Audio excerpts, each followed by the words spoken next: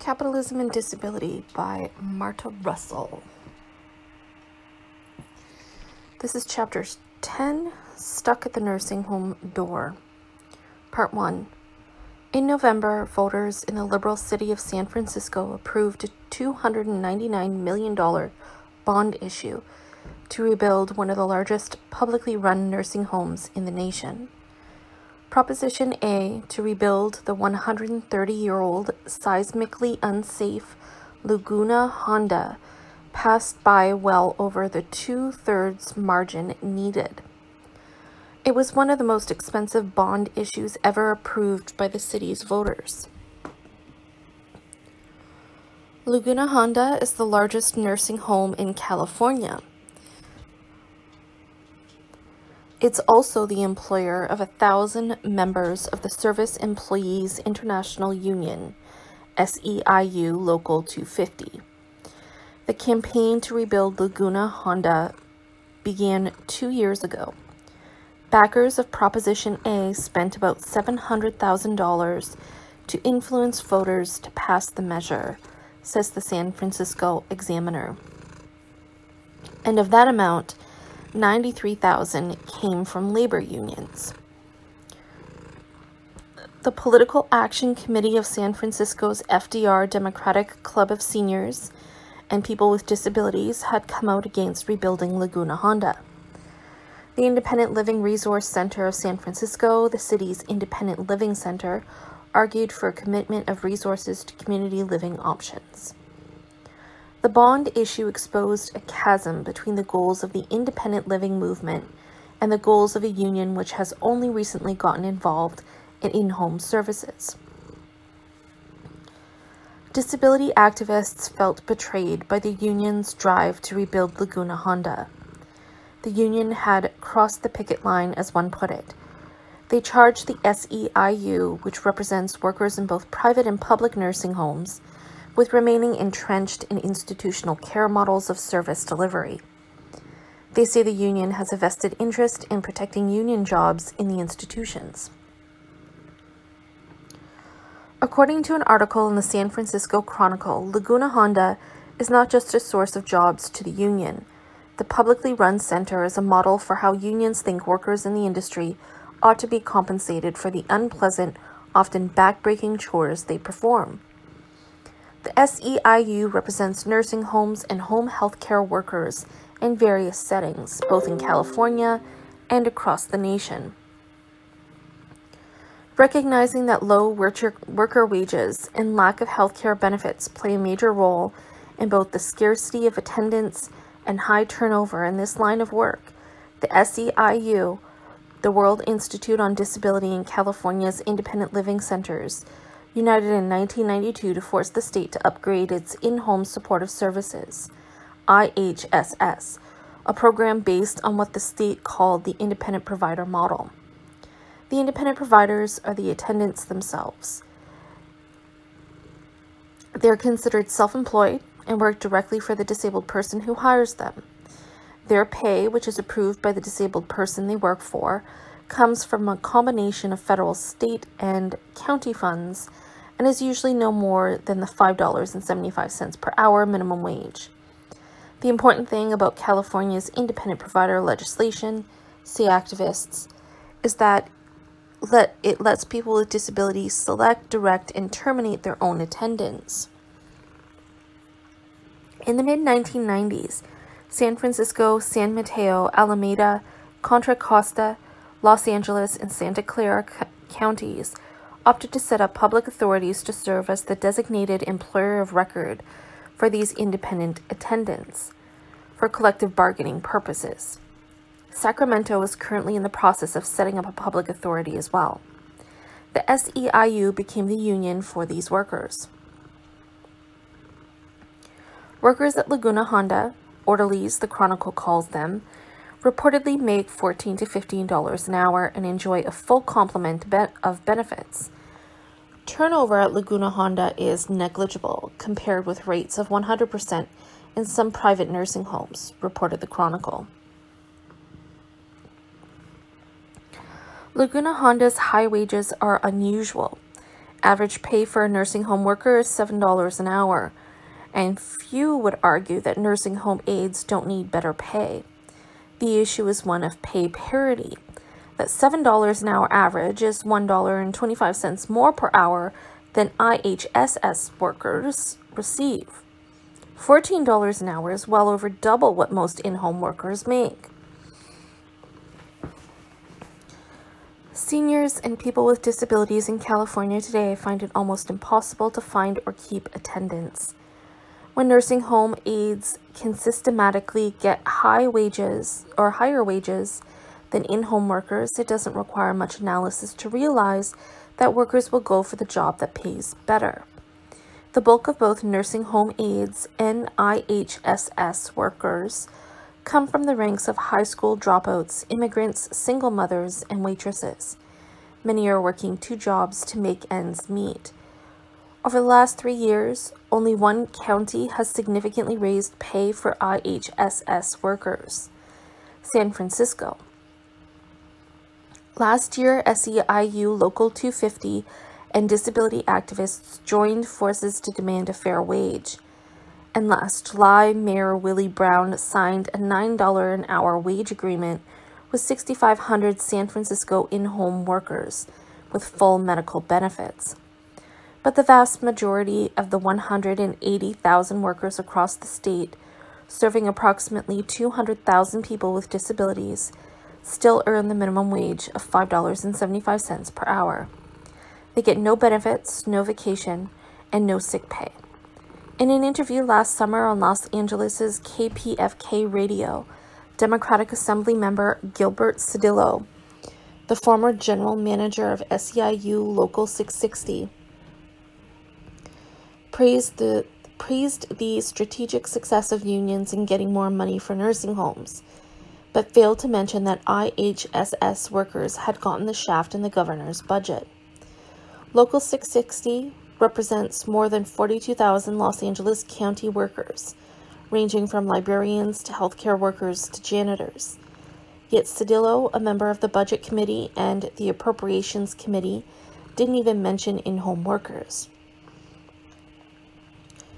Local 250 says it agrees that non institutional care must be expanded and it has worked to raise attendance pay in San Francisco.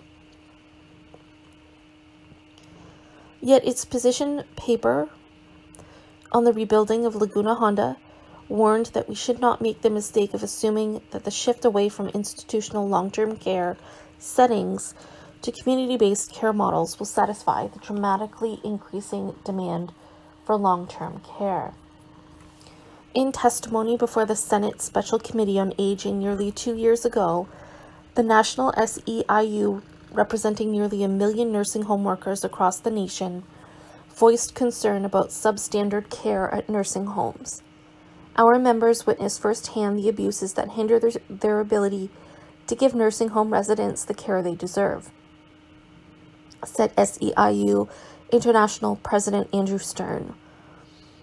Nursing homes are cutting back on staff and supplies at the same time that the number of older, sicker patients entering these homes is greater than ever before. Senior groups have in recent years become increasingly vocal about deplorable conditions in nursing homes, yet Stern's singular focus on jobs and staffing seems reactionary. It ignores the central issue. Few people ever want to live in a nursing home. Why does the SEIU not go beyond reform and push to progressively change the paradigm of long term care to the independent, independent provider model? The assumption is that that's actually better for people, and it's not. I'm just saying. If the average cost is $40,000 a year or more to keep someone in a nursing home, or $90,000 in the case of Laguna Honda, then people with disabilities should be allowed to use that money for services at home. with such an amount, workers can certainly get paid a decent wage with benefits. Such a move would benefit SEIU's workers far more than increasing wages in institutions. The majority of nursing home and home care corporations operate for profit To maximize profit, they cut corners in quality of care and keep worker pay low to show their owners and investors as high a return as possible on their money. Home care corporations charge the state $16.50 an hour and pay the worker little more than minimum wage. True. Corporate managers and owners reap six digit salaries and bonuses, while workers paid below a living wage are given more tasks than they can physically, emotionally, or safely handle. This is a corporate agenda, one that exploits both labor and disabled people's bodies for the benefit of the few at the top.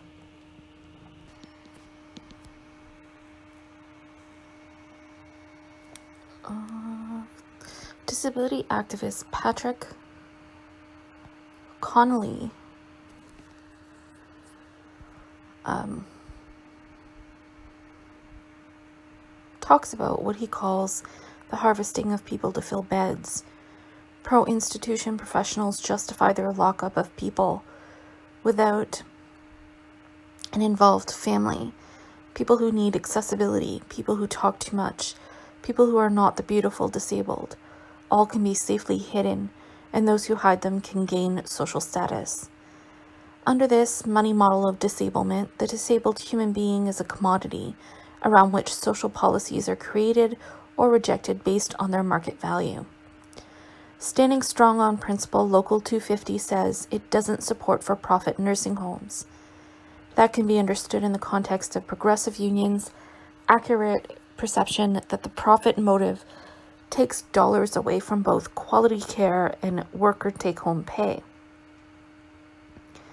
But progressives' understanding seem to stop at the door of state run institutions, which are viewed as bastions of liberalist social services and often represent the culmination of long union struggles to organize the state workforce. Supporters of institutions do so because it's one way to avert a loss of funding that perpetuates the system, which both employs and validates them. But fears about job losses have often diverted organized labor from a longer range understanding of issues. Unions' preservation of jobs in logging, for instance, have rammed up against the goals of the environment move, environmental movement. As with the environmental movement, labor must understand that it too will benefit by making personal assistance services the dominant long term care model in the nation. That's not true, though. Union workers themselves become disabled. Many will require long term care as they age. How many workers would really like to live in the institutions they now work for? The same negligence, substandard care, physical and emotional, emotional abuse, and rape that unions say occur in for profit nursing homes also occur in state run institutions and in, in, in, in home care. Abuse is epidemic in all institutions and in agency run home care as well. At least with the independent provider model, people can select and direct their attendant themselves and fire an unsatisfactory or abusive one. Promoting social justice for workers means joining the struggle for living wages and healthcare. Promoting social justice for people with disabilities means advancing real choice to live where one wants, rather than condoning the current system, which commodifies disablement for profits, perpetuating institutions to warehouse, underval- warehouse undervalued members of our society. Neither model is working. Part 2. The 1999 Olmstead Supreme Court decision declared that unnecessary institutionalization is, criminal, is discrimination under the Americans with Disabilities Act and directed states to provide services in the least restrictive environment.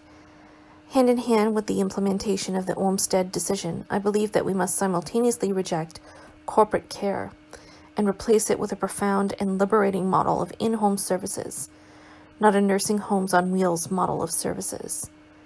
The primary goal of the disability movement has been to confront the disablist society in whatever form oppression manifests.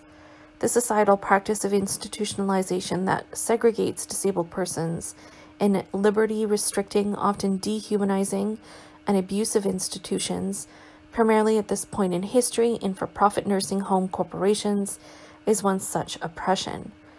The right to make basic decisions about where and how to live, as well as the right to be free from bodily restraints, have been recognized as core principles of liberty.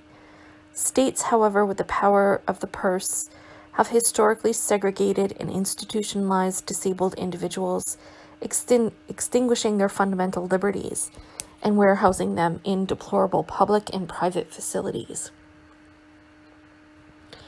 Not coincidentally, the rise of the institution accompanied the rise of capitalism in Western societies. As industrial capitalism demanded a standard worker body which could conform to the needs of production, disabled persons came to be regarded as a social problem, and the justification emerged for segregating individuals with impairments out of mainstream life. The widespread theory of eugenics, geared towards what scholar Lennard Davis calls enforcing normalcy by eliminating defectives, provided further momentum for segregating disabled persons. According to Davis, the term normal as constructing, conforming to, not deviating from the common type or standard, regular, usual, only enters the English language around 1840. It is worth taking note that both progressives such as Emma Goldman and conservatives such as John D. Rockefeller and Alexander Graham Bell were all uh, were all for ridding the wor- world of cripples, epileptics, deaf, and otherwise impaired persons. Early 20th century official U.S. reports referred to disabled individuals as defects that wound our citizenry a thousand times more than any plague, as byproducts of unfinished humanity, and as a blight on mankind, whose mingling with society was a most baneful evil. Some laws demanded forced isolation from normal society. A 1911 Chicago ordinance, for instance, warned no person who is diseased, maimed, mutilated, or in any way deformed so as to be an unsightly or disgusting object or improper person to be allowed in or on the public ways or other public places in this city shall therein or thereon expose himself to public view. Although institutionalization reached its peak in the 20th century, the model persists to this day and continues to restrict disabled persons' democratic participation in society. Due to pressures from disability activists in the late 1970s, the government directed funding to establish independent living centers. Part of the liberation task involved freeing disabled persons not only from confined institutional living, but also from dominating social workers and other professionals carrying out policies that disable rather than enable, and from unpaid personal assistance. The disability movement understood that paying one's personal assistant rather than relying on family, friends, or charity meant the autonomy to organize one's life to arrange one's day, seek employment, attend functions, and keep schedules. So, setting policies in place that provide funding for disabled persons to live in the community has a significant component. Funding programs that allow disabled persons to hire a personal assistant. Despite some public policy gains, such as the Olmstead decision, unfavorable structural and institutional dynamics remain a barrier to user led and controlled services. Yes. Capitalist commodity relations, for instance, produce the nursing home industrial complex, today a $70 billion industry. Institutionalization has, as national policy evolved in part from the realization that financing guaranteed an ongoing source of entrepreneurial revenue. Two thirds of nursing homes are for profit businesses. Medicaid funds 60%, Medicare 15%, and private insurance 25% when a single impaired body generates thirty to eighty-two thousand dollars in annual revenues. Wall Street brokers count that body as an asset, which contributes to a nursing home chain's net worth. Though transfer to nursing homes and similar institutions is almost always involuntary, and though abuse and violation of rights within such facilities is a national scandal, it is a blunt economic fact that, from the point of view of the capitalist care industry, disabled people are worth more to the gross domestic product when occupying institutional beds than they are in their own homes. That's not true because. I think this was written before in home care companies really kind of took over.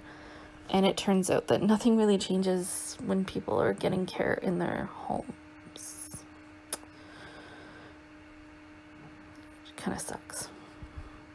Because there's no winning. It is also a national scandal that the horrific conditions in nursing homes have been public knowledge for some time.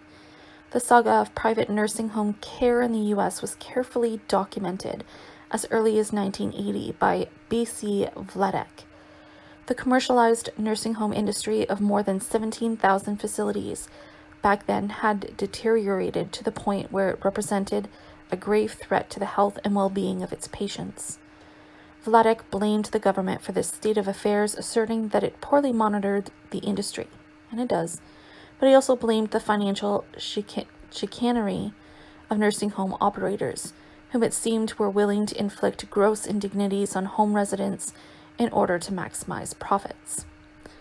So, even though the infamous state run institutions such as Willowbrook in New York have been shut down as a result of exposure in the 1960s, little has changed over the past years in terms of respect and dignity under the roofs of private industry run long, or private industry run long-term care institutions. There have been a slew of reports documenting nursing home neglect and abuse. A recent congressional report details thousands of incidents and a range of abuses, including instances of nursing home residents and a range of abu- um, of nursing home residents being punched, kicked, or choked by staff members. Some residents also complained of workers groping and sexually assaulting them.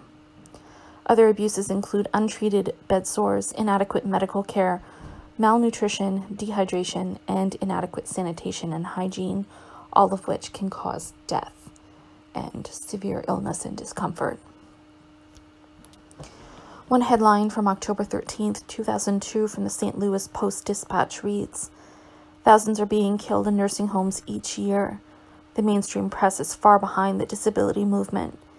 Many disability rights activists certainly have had firsthand experience with the abuse in these euphemistically named homes, and many do not think that nursing homes can be reformed or that they can ever be a model for good public policy. There are a host of reasons. Nursing homes are part of an industry that reaps their blood profits from warehousing people who have little or no alternative to institutionalization. Secondly, neither seniors nor younger disabled persons have said that they want to live in nursing homes.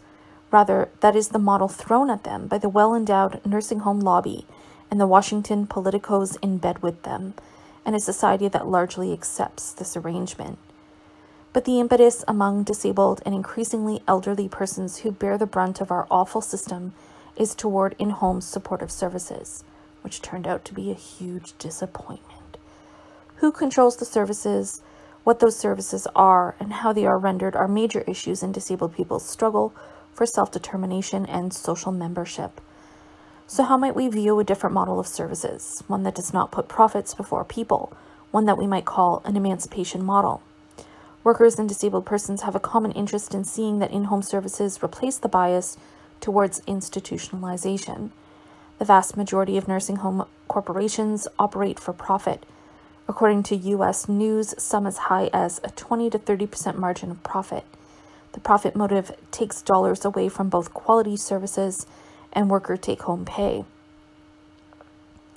Removal of the profit motive is seen by both the National Senior Citizens Law Center and the California Advocates for Nursing Home Reform as an important route to quality care.